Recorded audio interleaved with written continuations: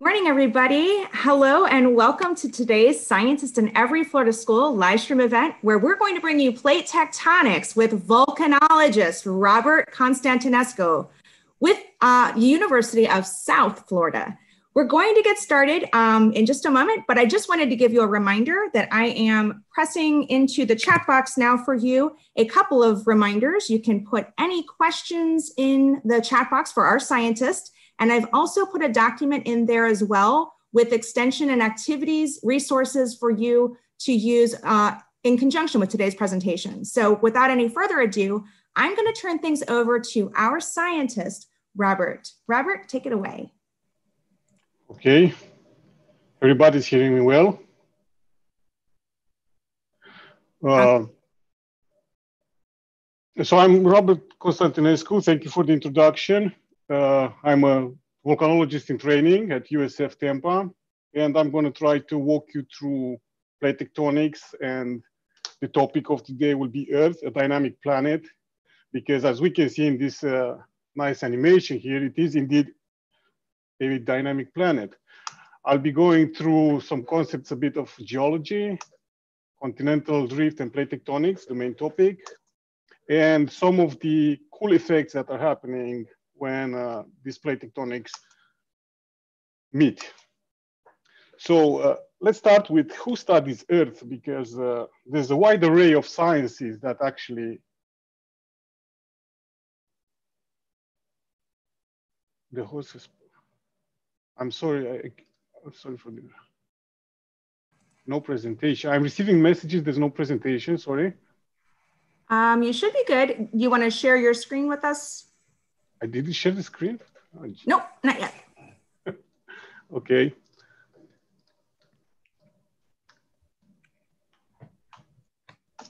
That's perfect. Looks good now. Yeah.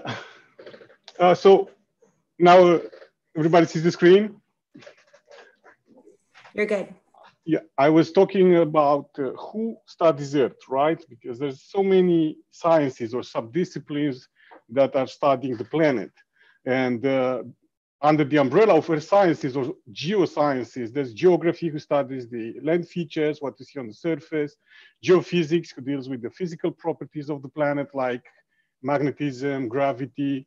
We get geochemists studying the, the, the makeup of the rocks and minerals, and a bunch of other sciences. But what exactly is geology, uh, geology part in this thing? Well, geology is the study of the solid earth, earth as a planet, as a solid body, and the materials it is made of.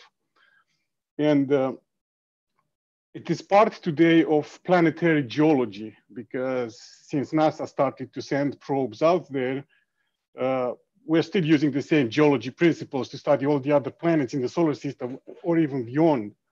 And part of the geology is to study the processes that change the planet over time.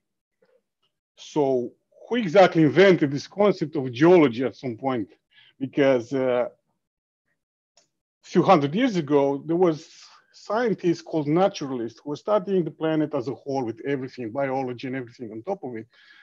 But we have this Scottish person, James Hutton. He's considered the father of modern geology. And he basically established this uh, geology as a science. And uh, why is that important is because he was the first to actually uh, realize that features on, of the earth crust, like we see mountains and valleys, plateaus, canyons, everything is a, the result of natural processes acting over geological time. And the geological time is a key concept because in geologically speaking, time passes a bit different than for us. Processes happen along millions of years, billions of years. Whereas what we can see in, during a, the, the lifespan of a human being, it's pretty much very, very, very small part of the geological process. If we talk about erosion, for example, you, we hardly see that rocks are eroding away, right? So geological time plays an important role when we're talking about the scale of the Earth. So where does uh, the continental drift and plate tectonics fit in? Uh, well, there was a time when uh, scientists were considering the Earth was pretty much a, a static body. There's nothing happening, and uh, geologists of the era basically were doing descriptive work. They were they will describe the land features, the mountains, they'll describe the rocks and minerals, but very few of them were asking, okay, we see this, we describe this, but how all this came to being? Uh, so it took a meteorologist slash astronomer slash an all-around scientist called Alfred Wegener in 1912, who was looking at uh, the map of the world and realized that, hey, if you look closely, uh, Africa seems like uh, it's been joined with uh, South America and any other continent is the same. And he started to follow these clues because, hey, they, they look like at some point they were joined together. And he started to find fossils and, of animals and plants that they look the same, like in South Africa and South, South America, or, or on all other continents, they say, wow, how can they be the same and, and yet split apart by thousands of miles of ocean? So he launched this idea of continental drift. It means that the continents were, were at some point joined together in a large landmass, which split it over time. And we see here an animation of this giant landmass called Pangaea that Wegener proposed, which uh, about 200 million years ago started to split into the continents that we see today. So this was the continental drift idea. But like any great idea in science, well, it was laughed at for several years, especially because Wegener wasn't a geologist per se. And uh, the scientific peers were laughing, hey, no, not true, not really. So things started to actually look better after the World War II. Uh, and surprisingly, the military and the technology developed initially for warfare started to unravel some mysteries of the planet. Like for example, the military invented the seismometers. They were using the seismometers to detect nuclear tests made by foreign powers. But coincidentally, they actually recorded naturally occurring earthquakes. And uh, the US Navy crossing the Atlantic to, to, to map the ocean floor uh, in order to provide summaries with a more detailed map of the, uh, of the ocean, they started to realize where they didn't, where they didn't expect, in the middle of the Atlantic, instead of finding a, an abyssal plain, an ocean floor, they find this huge mountain range, thousands of feet high, crisscrossed with valleys and canyons. And we're like, wow, what's this feature? They call it a mid-ocean ridge, right? But further subsequent studies in magnetometry and uh, geochemistry and so forth, they found out something interesting that all the rocks at the mid-ocean ridge with red here, they were less than 10 million years old and even very close to nowadays. And the further away you move towards the shores, like we see here in North Africa or, or the eastern coast of US, rocks are 180 million years old. So how come this happen? This is happening? further studies um, until like the 70s, early 70s, after many, many campaigns of mapping the world's oceans, scientists, geologists realized, wow, all the Earth's oceans are actually uh, harboring this long mountain range, close to 65,000 kilometers long, all the oceans. So this means that at some point in time, there was no oceans here, but they started to form. And uh, they are initiated at these mid-ocean ridges. So once in the 70s, once the scientists realized that this, okay, there are tectonic plates moving around, continental drift theory started to, to, to, to come together. Uh, several, uh, nine major tectonic plates were identified. We see them here with different colors. There's some smaller ones. Uh, scientists proposed, okay, this is this theory of plate tectonics. Plates are created at mid-ocean ridges, but well, the planet is a finite space, right? You cannot just grow plates at the mid-ocean ridges forever. They must end someplace. So they looked at the other, the opposite ends, because as the technology developed and we started to follow the motion of the plates, we see that in some places they collide, like we see here, this, th these arrows indicate the direction of the plates, right? In some places they move away from each other, like in the mid-ocean region, the Atlantic, we see here. And in some places they move past one another. So it's all this movement. But how is this movement coming? Because it's not, it's, it's not very intuitive. So to fully understand the dynamics of the planet and how these plates, tectonic move and everything, we actually have to go back in the deep time until the creation of our solar system. Deep time is a concept even, even more powerful than the geological time because usually deep time is used by astronomers to, to talk about the evolution of the universe in billions and billions of years. So we have to go back to the start of our solar system because this is important. And we see in this example some nebula, what scientists call nebula, and they are basically interstellar clouds of gas and dust. Here is an example of the pillars of creation, a photo taken by Hubble telescope. And inside of it, we see these red dots, which are real star nurseries, solar systems being born. So somehow like this, our solar system came to being about 5 billion years ago. So at least is what we think. So at some point, this um, gas and dust starts to coalesce, to, to, to, to clump together. And as it clumps together, it gets more and more gravity, it gets a little bit of momentum, it starts to spin very fast. Uh, and this cloud starts to, to, to flatten and create a disk. This continuous rotation, this continuous movement and centrifugal forces and gravity starts to coalesce more and more matter at the center of this disk where a, a star is coming to life at some point, it sparks to life. And the, the remaining material starts to coalesce, like we see here in these diagrams, into the planets that we see today. This process takes hundreds of millions of years. So once the star is formed and um, the protoplanetary disk, as we call it, has this remaining material, right? This material starts to clump together in a process called accretion. And as these uh, lumps of matter, they keep growing and growing and growing, and they become this huge homogeneous body, like a planet size, what scientists call the planetesimal or an infant planet. And uh, this planet keeps clumping more and more material from the remaining uh, protoplanetary disk. There's a bunch of uh, bombardment from asteroids and comets. And at some point, this planet is so massive the pressure inside it grows, it grows, it grows. So it reaches, it increases the temperature until pretty much everything is melted. This uh, comet and meteor bombardment continuously are melting the planet for hundreds of millions of years. And at some point when the, the bombardment, as the scientists call it, the heavy bombardment finished, well, we are remaining basically with a molten planet that being exposed to the coldness of space, which is pretty much minus 270 degrees Celsius, the crust starts to form on top.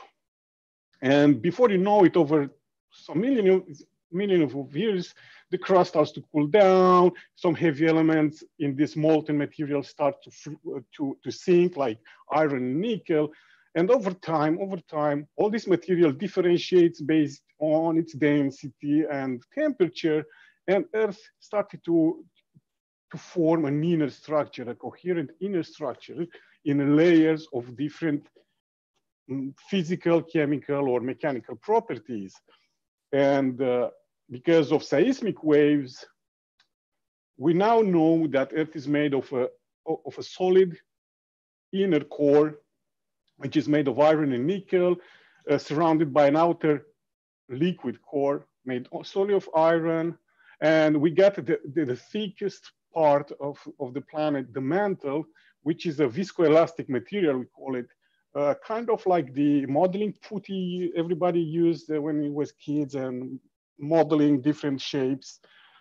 Uh, and on top of this floats the crust on which we live and which is made basically of the plate tectonics and is the thinnest layer of the planet.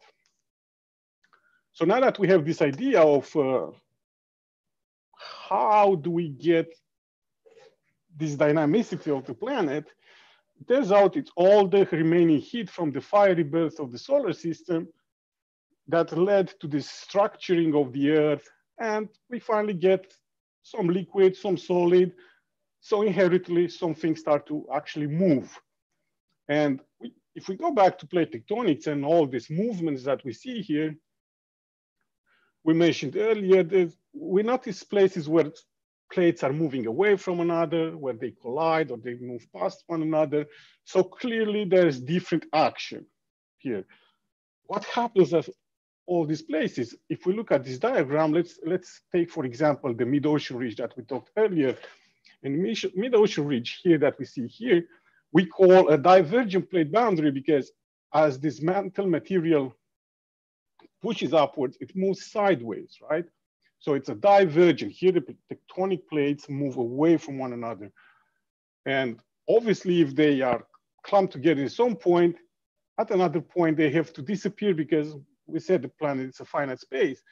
So thousands of miles away and over some million of years, these plates that move away from, from the divergent margin, they start to collide with a continent or another ocean, oceanic crust, and they start to, to, to, to slide under it because the oceanic crust is heavier and denser than continental crust. It's a process called subduction or a convergent plate margin. And when the, the plates are moving one past another, like we see in this diagram here, we call that a transform plate margin. So we have basically three main types of contacts between tectonic plates, a divergent margin, where, which is a constructive margin because new crust is formed. We have convergent or subduction margin where the crust is basically recycled and the transform margin where, well, it's neither a creative or a destructive process, but it has its, uh, its perks, as we'll see later.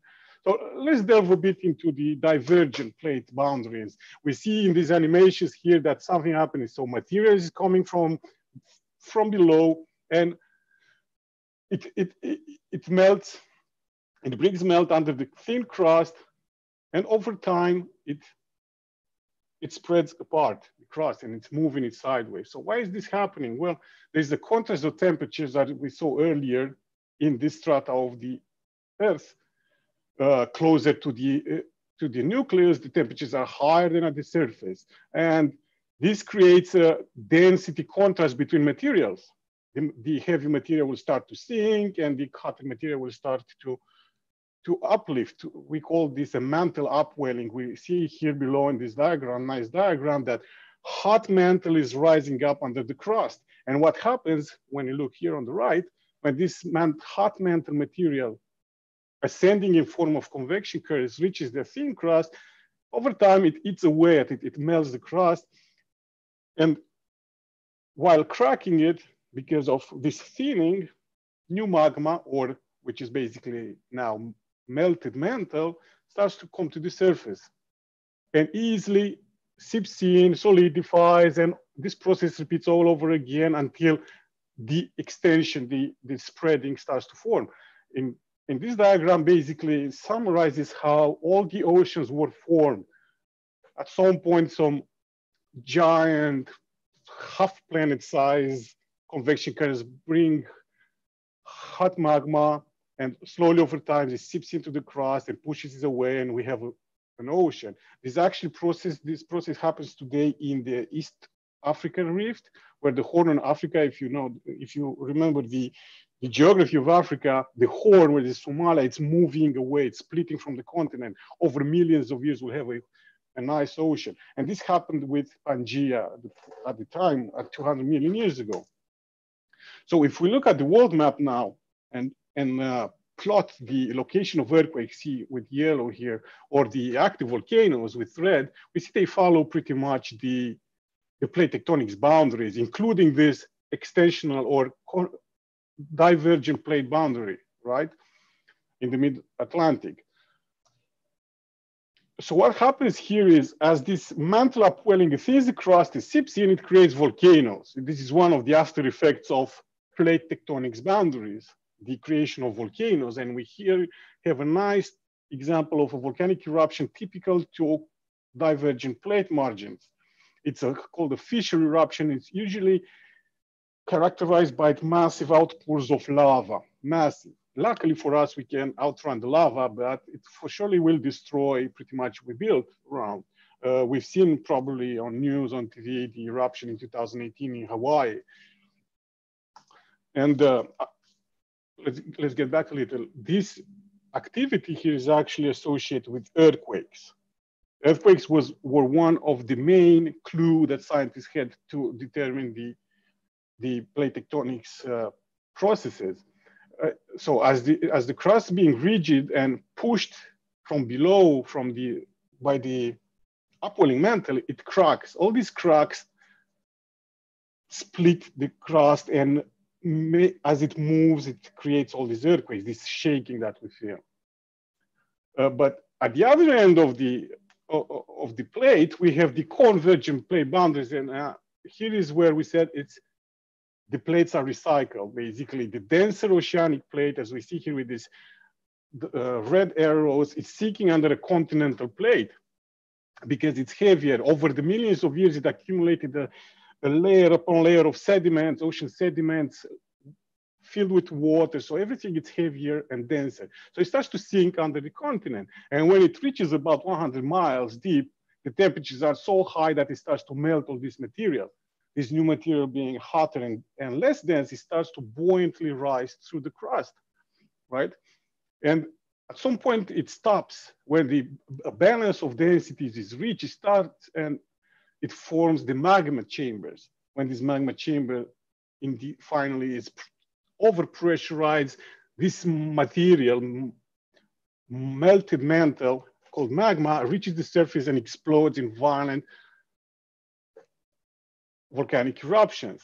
And we have two types of such subduction zones when uh, oceanic crust is uh, subducting over uh, under continental crust like here, or it's subducting under another ocean crust, which uh, will create island arcs like the Caribbeans, the Philippines, Japan, or we have a contact of subduction like continent-continent, uh, which creates large mountain ranges. For the best example here will be the Himalayas, which are, were created from the collision of the Indian subcontinent with Asia. Uh, they don't really follow the same process because we don't, we are not quite 100% sure it's the same subduction process because basically the two continents will have the same density, how they get one under the other. Uh, we think that as they collide, they push against one another, they form this melange of rock, they, there's accretion here, which over time changes the balances of masses on the plate. So in the end, one ends up sliding under the other, as we see here.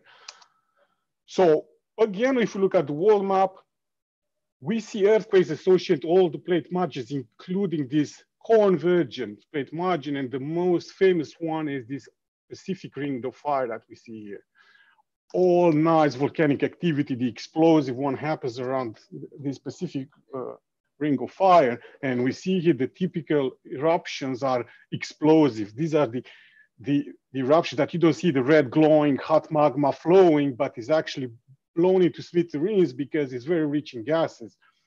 So this type of explosive eruptions are actually the deadliest ones as the magma here reaches the surface, it explodes and creates various volcanic phenomena like tephra fallout that we call lava flows, pyroclastic flows, these flowing clouds of material we see even here in this image on the side, they are several hundred uh, uh, degrees Celsius in temperature and they travel hundreds of kilometers per hour on the volcano flanks. Only in 2018 in Guatemala, a small volcanic eruption, explosives killed about 300 people. So we see along the Pacific Ring of Fire the most violent volcanic activity. And in the same time, because the plates slide one under other, and they're not smooth, they're not uh, uh, like soap, they are rough. We see the plate is carrying seamounts, for example, at some point they get stuck, they get locked. And as the, the plate, they keep trying, trying to move, but they can't, they're in this lock. It gathers a lot of energy, which at some point it snaps and uh, this is how an earthquake is created. Earthquake basically releases energy in form of seismic waves, and this travels to the ground and create the shaking that we all feel. And we see here in these nice simulations here how the, the, the seismic wave, the earthquake wave is, is traveling through the crust. Uh, there are many types of waves, but P waves or primary waves and S waves are the most important. So we see the P wave is a compressionary wave. We see it compresses the material ahead of it and relaxes behind, whereas the S wave is an up and down motion. All these motions combined give the destructiveness of the earthquakes. And one of the after effects of these earthquakes happening, especially in convergent plate margins, leads to creation of tsunamis. Uh, you've probably seen on TV a lot of tsunami and you see it's like a huge, the whole ocean is coming right at you. They're not like your usually sea waves that you see on a day at the beach in Clearwater or another beach in Florida because the sea waves that we see is just the surface of the water coming at us. But in tsunamis, the whole full body of water, like we see in the simulations here, when the earthquake snaps the plate upwards, it dislocates the entire column of water, which starts to travel across the ocean. And when it reaches shallower waters, it basically overwhelms the shore with wave after wave after wave after wave of water. And it's very destructive. We, you probably have heard of the Fukushima earthquake in 2011 in Japan, killed several thousand of people or in 2004 in Indonesia, an earthquake like that snapped the seafloor along hundreds of kilometers and for a few tens of meters high. And the ensuing tsunamis killed about 240,000 people. So a lot of cool action happens when plates collide. It's destructive, yes, but it's also beautiful. And now we know how all this works because we developed these theories and which further explained all these processes, the plate tectonics and continental drift we reach the final, uh, the, the last of the plate boundary, which is the transform plate boundaries, which usually are associated with mid-ocean ridges. We said that here plates are moving one past another. And uh, this moving again, because plates are not smooth, at some point they get interlocked and they snap and they form an earthquake. This happens a lot uh, that we see on land. Most of these transform plates uh, boundaries are under ocean, but in some places like Iceland or uh, East African Rift or uh, South California, they, they, they, they are on land. And we see that the Pacific plate in California actually it's moving north with respect to North American plate.